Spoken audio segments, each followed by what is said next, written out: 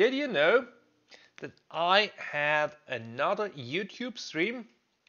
It's on German, but if you're capable of that language, uh, go up there. Hello, boys and girls. My name is hotzst, and welcome back to another day in Minecraft. Uh, still without mining any natural generated blocks. And last time we collected materials in these two chests for today's project, which will be a moss farm to generate all the bone meal we will ever need.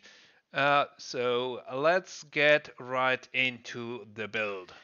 The first part and a bit more is done here on this uh, hopper line in the middle there we will have all the um, compostable items that then are uh, funneled through into the composter and the bone meal sucked out uh, over there and over here into this uh, system and then spat out into this water stream that goes all the way down there and wraps around here.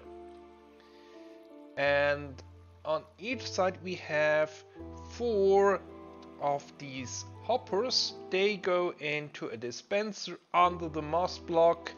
Here under the uh, target block we have a note block and redstone line here along this side and this will actually activate the droppers down below so triggering or bone mealing the moss and uh, generating more moss out of stone. Uh, same thing here on the other side. Uh, here it's not exactly symmetrical, but this part uh, here in the middle is uh, there on this side we will have eventually a collection system. And then on the outside there's a bit of uh, redstone there as well. We will come to that in due time now it's time to look into the second part, which is basically all the redstone, which calls this contraption here. But first, something else. Did you know that I had another YouTube stream?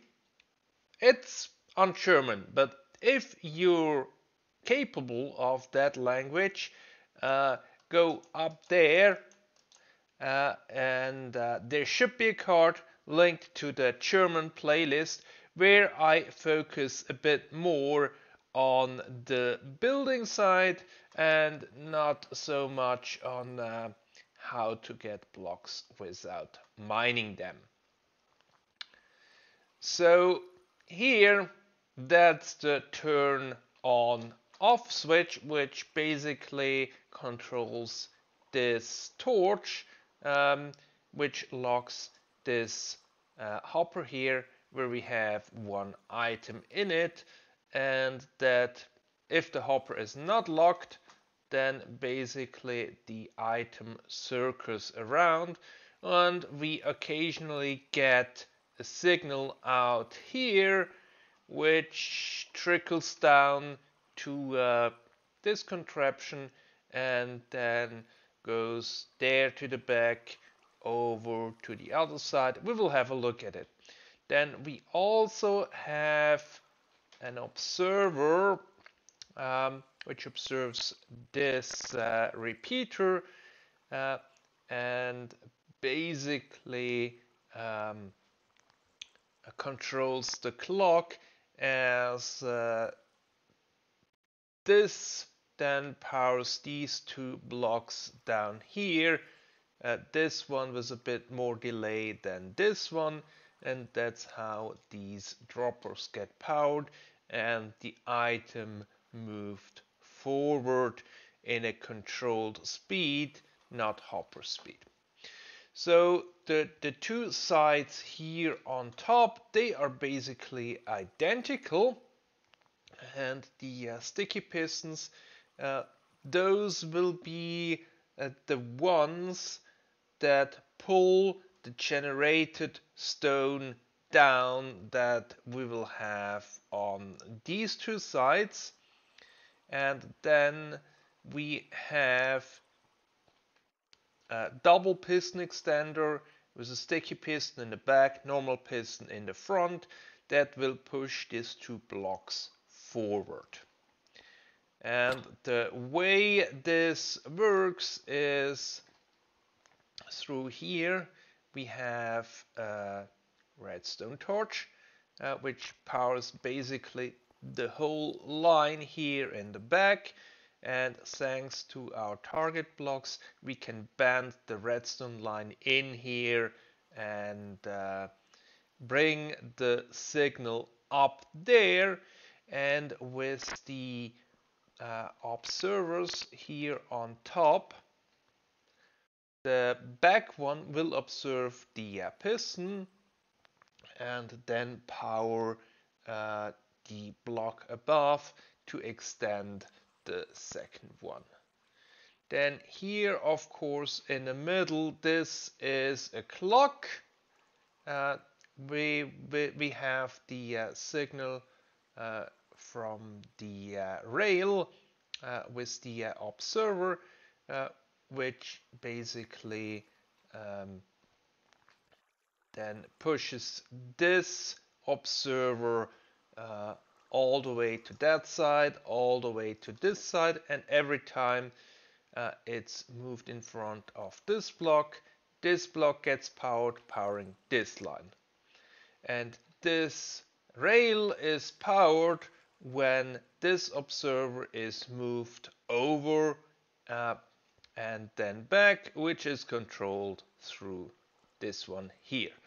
And of course on this side we have the same contraption. It's a bit narrow to get around here. So same thing here. Um, and here we have uh, these blocks are powered through the target and up and the ones here are side into this block uh, and up and then here of course we have the same setup.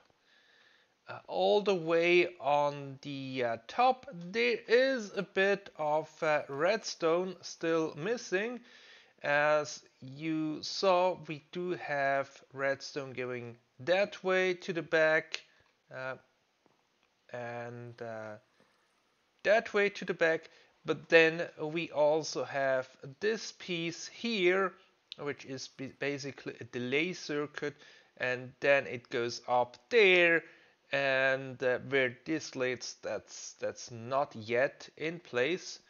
Um, but what we have here on the side is basically we power this torch um, with a bit of, uh, of a delay and uh, we power uh, this block with a bit of delay.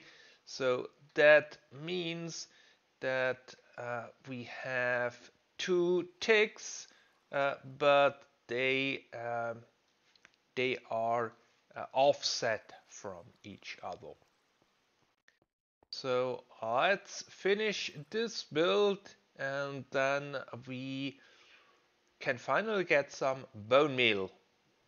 The last puzzle pieces are now also in place and as you can see here in the middle there is a solid layer of stone uh, then uh, here we basically have a hopper line which will collect all the uh, mossy uh, drops that are generated.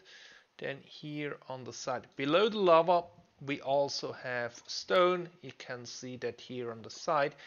And that is generated when the lava flows down, uh, touches the water which flows in from the side the stone is generated, which is then uh, pulled down and pushed out.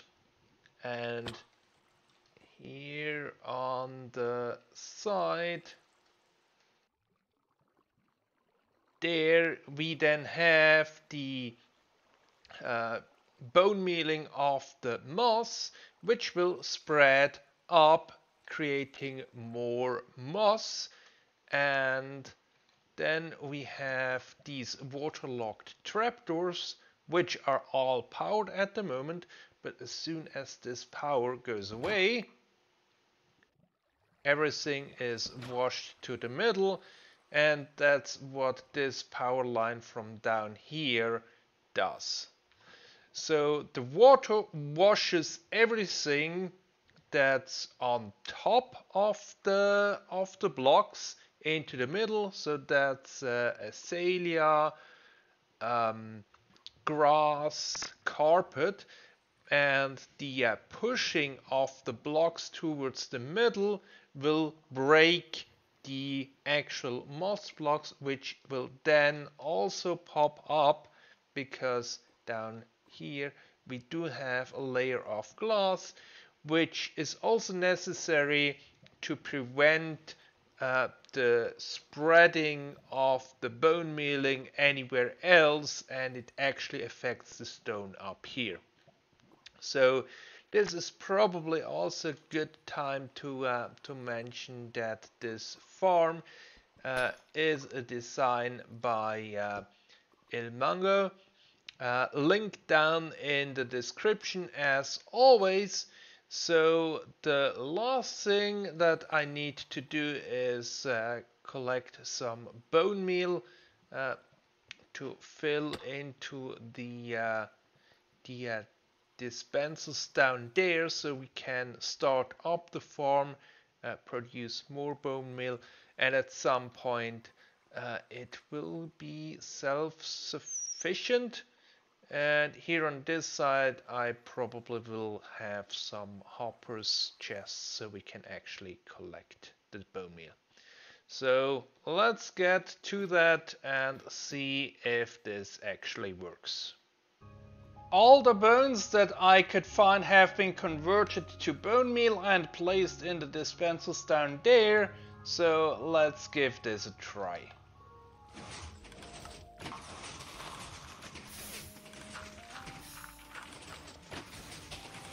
So far it's looking good.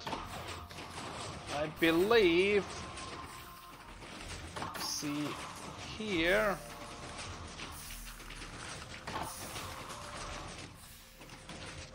that's mainly a thing with uh, the visual update.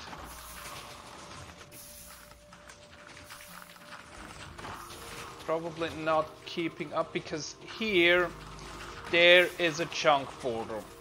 So this is a thing I usually forget because it's best if you line up this farm so the chunk border is either here or here. So you have this all in one chunk and this all in one chunk. But nevertheless, it is working. And if we go down,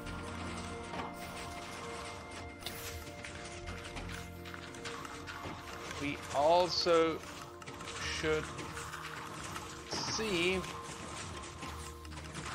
some bone meal flowing there.